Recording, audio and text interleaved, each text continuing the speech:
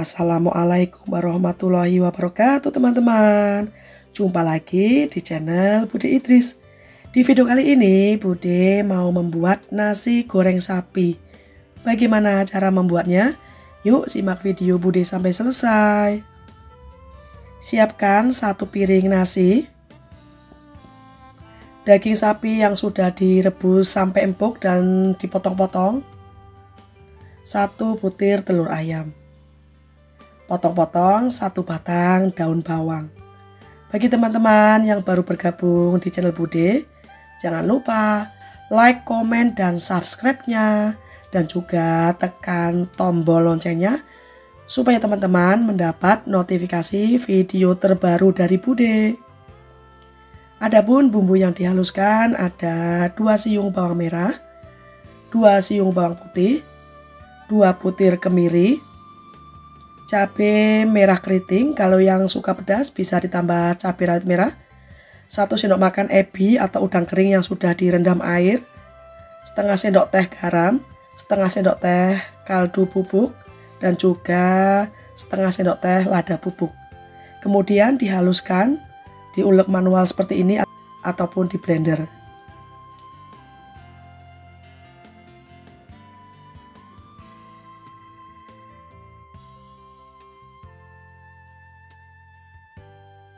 Bahan dan bumbu sudah siap. Panaskan minyak goreng, masukkan telur dan diorak-arik sampai matang.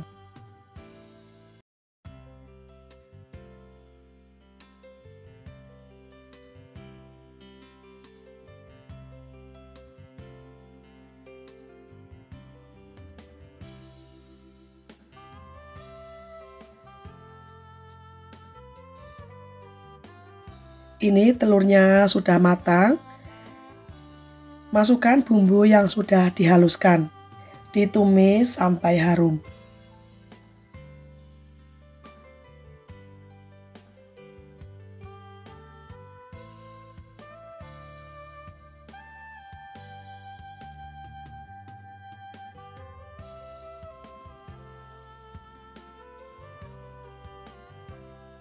Bumbu sudah harum, masukkan daging sapi dan potongan daun bawang digongsreng-gongsreng supaya tercampur merata dan daun bawang layu.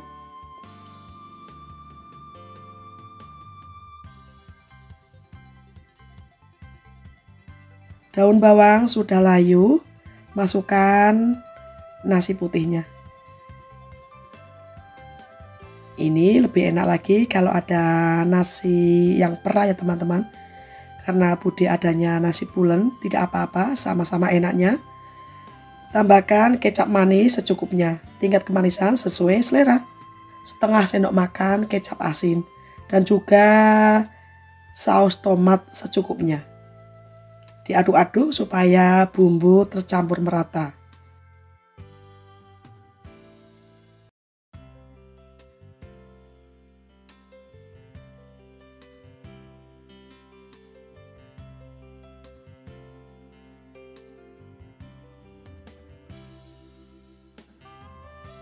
Ini sudah matang, jangan lupa koreksi rasa. Apa yang masih kurang bisa ditambah. Siap disajikan. Terakhir taburi dengan bawang goreng.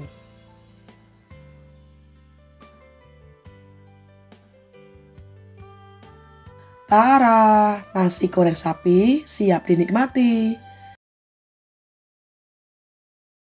Di video kali ini, Bude mau membuat nasi goreng cabai hijau. Siapkan satu piring nasi putih, dua butir telur ayam, dan juga teri nasi yang sudah direndam dengan air hangat, dicuci bersih serta ditiriskan.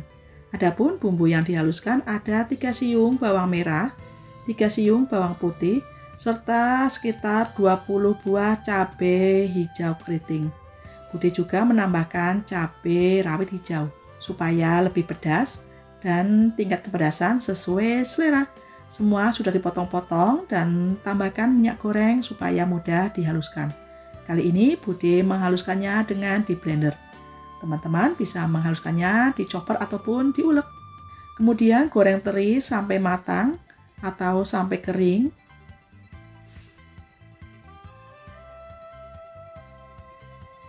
Ini terinya sudah matang, sudah kering.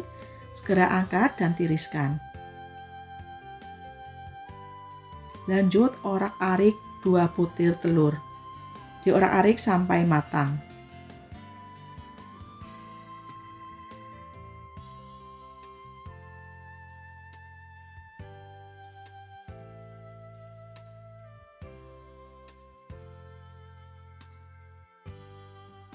Dan ini telurnya sudah matang, diangkat dan sisihkan terlebih dahulu.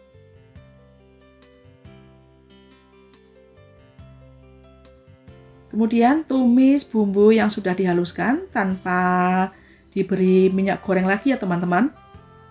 Karena tadi Bude waktu menghaluskan bumbunya sudah diberi minyak goreng.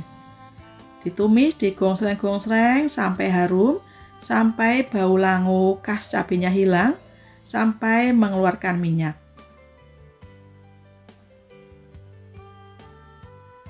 Ini bumbu sudah harum, sudah mengeluarkan minyak, kecilkan api dan kemudian masukkan nasi putihnya.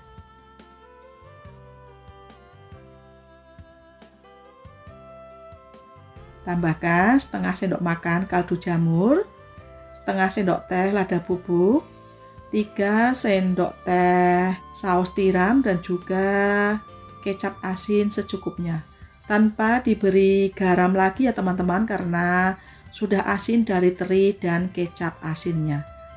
Diaduk-aduk, digongsreng-gongsreng supaya semua bumbu tercampur merata. Nasi goreng hijau ini enak banget dinikmati untuk sarapan, makan siang, ataupun makan malam.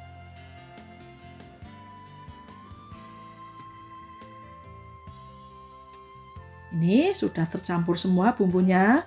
Masukkan irisan cabai hijau, teri yang sudah digoreng dan juga orak-arik telurnya.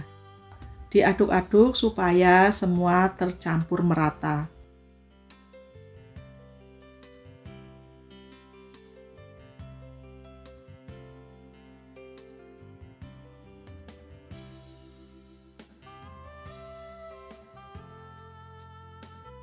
Jangan lupa koreksi rasa, apa yang masih kurang bisa ditambah. Siap disajikan.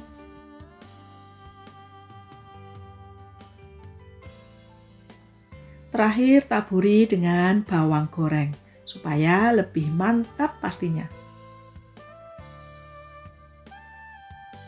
Tara, nasi goreng cabai hijau siap dinikmati. Di video kali ini, Bude mau membuat nasi goreng maut atau nasi goreng campur mie. Siapkan satu piring nasi putih ini Bude membuatnya untuk dua porsi ya teman-teman. Toppingnya Bude ini ada ayam yang sudah direbus dan disuir-suir, satu keping mie kering yang sudah direbus, dua butir telur, kol atau kubis, sawi hijau atau cesim, dan bumbu-bumbunya ada 4 siung bawang merah, 3 siung bawang putih, 2 butir kemiri, dua buah cabai merah keriting dan juga cabai rawit merah. Tingkat kepedasan sesuai selera. Satu sendok makan ebi yang sudah direndam dengan air hangat. Satu batang daun bawang setengah sendok makan garam satu sendok makan kaldu bubuk kecap manis dan juga kecap asin Haluskan bawang merah, bawang putih, kemiri, dan juga cabenya. Ini sudah dipotong-potong supaya mudah dihaluskan. Ebi, garam, kaldu bubuk. Kali ini Bude menghaluskannya di ulek manual ya teman-teman. Teman-teman bisa menghaluskannya dengan di blender ataupun di chopper. Ini bumbunya sudah halus, sisihkan terlebih dahulu. Kemudian potong-potong daun bawang, sawi hijau atau cesim, dan juga kol atau kubisnya. Kemudian panaskan minyak goreng dan tumis bumbu yang sudah dihaluskan sampai harum, sampai benar-benar matang atau sampai tanak. Ini bumbu sudah harum, masukkan 2 butir telur, kemudian diorak-arik sampai telur benar-benar matang.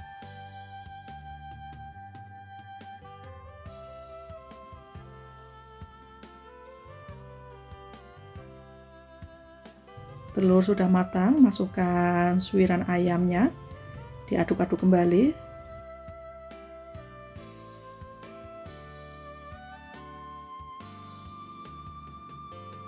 Masukkan potongan daun bawang, cesim, juga kubisnya.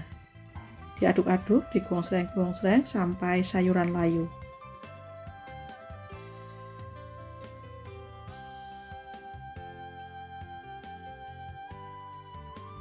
Masukkan juga mie yang sudah direbus.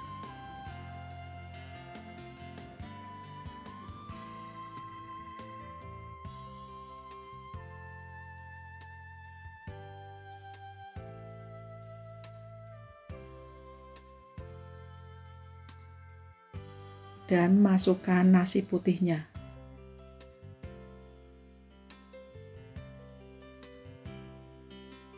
Tambahkan kecap manis, tingkat kemanisan sesuai selera. Sekitar 1 sendok makan kecap asin. Diaduk-aduk supaya benar-benar tercampur merata.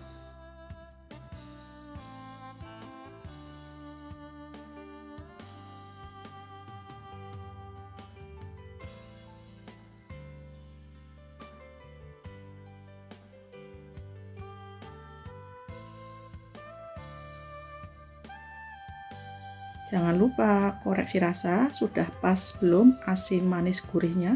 Kalau sudah pas, matikan api dan siap disajikan. Terakhir, taburi dengan bawang goreng.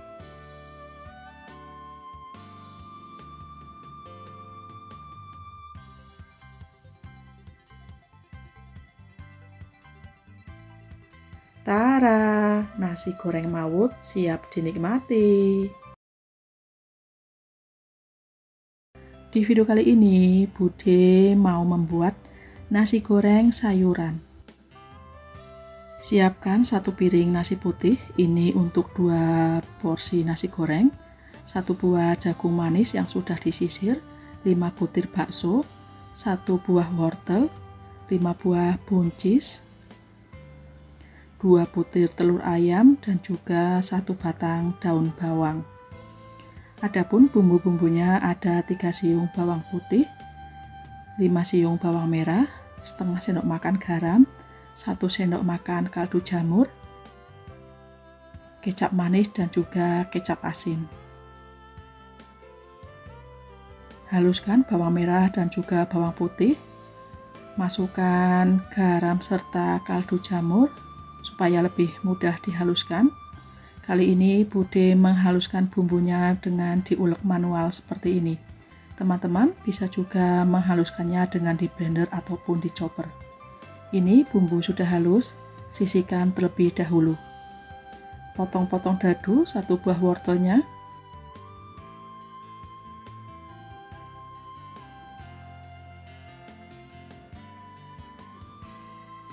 dipotong dadu kecil seperti ini.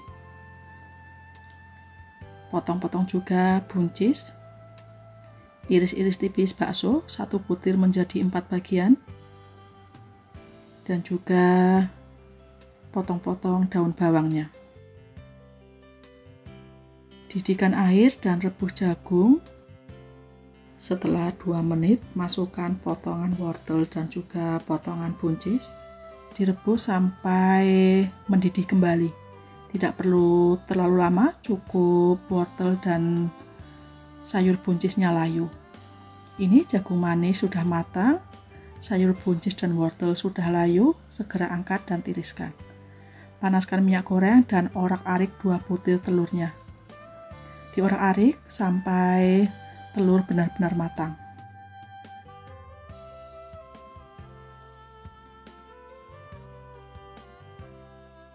Ini telur orak-ariknya sudah matang. Segera angkat dan sisihkan terlebih dahulu.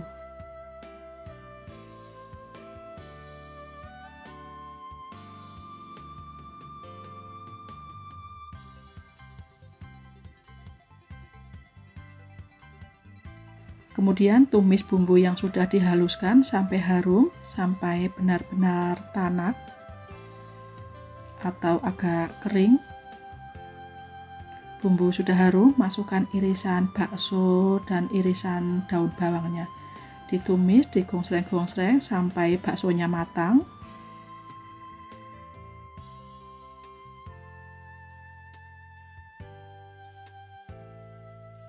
Kemudian masukkan sayuran yang sudah direbus tadi.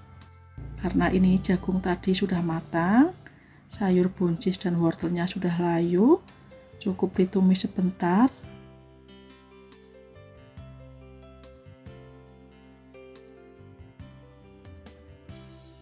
Semuanya ini sudah matang. Masukkan telur orak-arik dan juga nasi putihnya.